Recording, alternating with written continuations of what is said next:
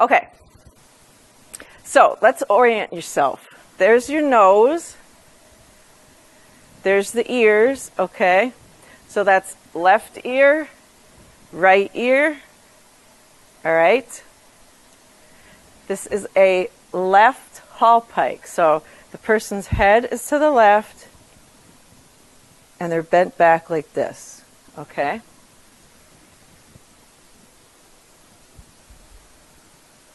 So they go down. Oh, I'm dizzy, I'm dizzy, I'm dizzy. Let me sit up. Nope.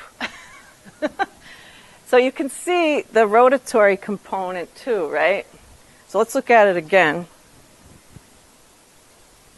So now that you know what you're going to be looking for. So nose, right ear, left ear.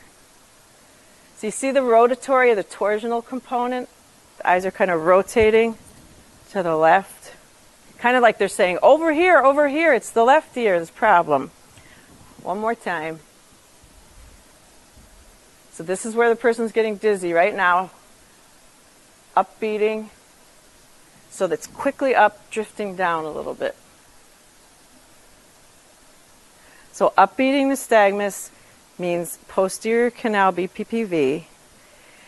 If I see it with the left Hallpike, it means it's in the left ear. Okay?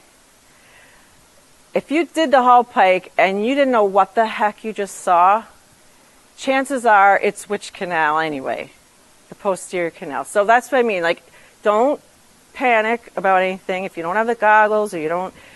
Um, let's look at a right Hallpike. This is almost pure torsion.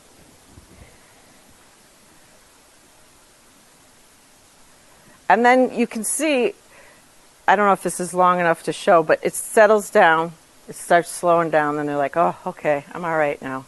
One more time.